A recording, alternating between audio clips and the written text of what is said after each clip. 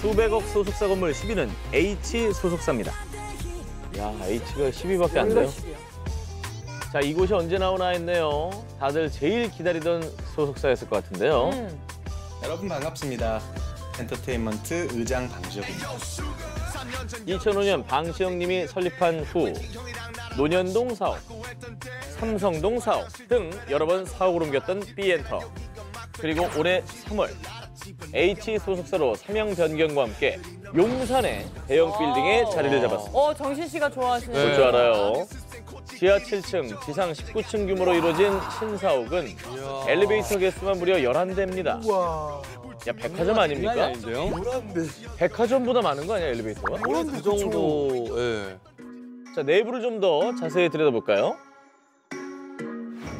한강 뷰가 보이는 카페부터. 아이고야. 야, 야, 웬일이야, 뭐야. 와, 사업 갈만 나겠다. 이게 왜 10위야?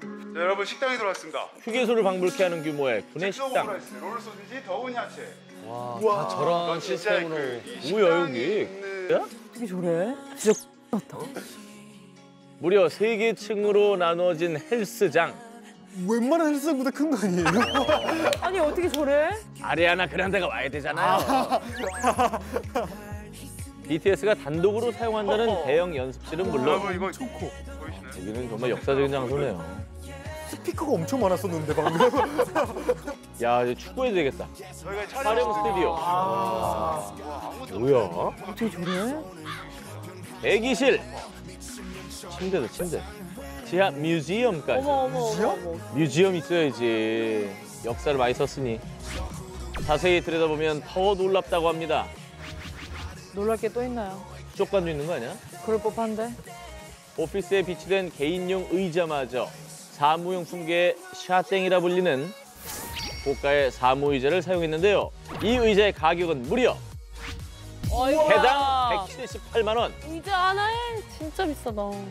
사무용 공간인 8층부터 16층까지 이 의자로 채웠다면 의자 가격으로만 억소리가 날 것 같습니다. 의자 앉으면 디스크 났고 뭐 이래요? 와, 그럴 수 있죠. 너무 무식한 얘기였나요? 이 카페 바를 지나 밖으로 나가면 컴이라고 이름 지은 외부 정원이 있습니다. 거기에 옥상에는 무려 자작나무가 심어진 공중정원을 만들었다고 합니다. 와. 자작나무가 웬 말이야. H 소속사는 신사업 시설 투자에 무려 535억 원을 사용할 계획이라고 밝혀 야, 아니, 근데 10이라고?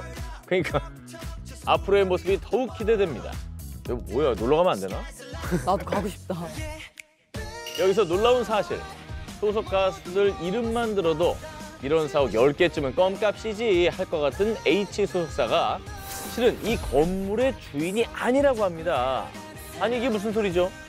이 건물을 매입이 아닌 임차했다고 밝힌 H 소속사. 건물 규모가 규모인 만큼 보증금 역시 후덜덜했을 것 같죠? 진짜. 그쵸. 이 건물의 보증금은 바로 171억 4,487만 원. 와, 보증금. 13위에 올랐던 임창정님 사옥 3개를 매입하고도 20억이 남는 금액입니다. 와. 그게 보증금입니다. 보증금이. 여기서 끝이 아닙니다. 171억 원이라는 어마어마한 보증금 외에도 월 임대료가 따로 있다고 하는데요. 아, 임대료는 얼마일까? 아, 임대료 뭐 겁난다. 야. 엄청 많이 나고. 그 금액이 무려 월세 약 17억 원. 정말 그냥 사지 그랬어. 월세가 17억 원이래. 아니 그냥 사지 그냥 그지? 근데 월세만이잖아요. 게다가 뭐 전기세나 그치 뭐. 또 부가적으로 드는 돈이 또 있겠죠. 17억. 와. 내가 드는 월세 중에 제일 세다.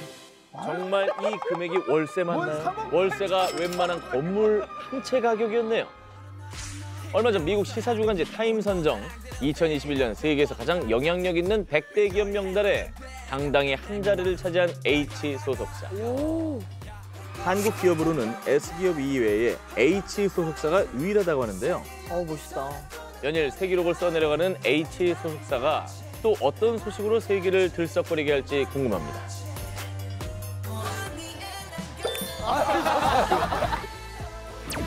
수백억 소속사 건물 10위는 보증금 약 171억 원대의 H 소속사였습니다.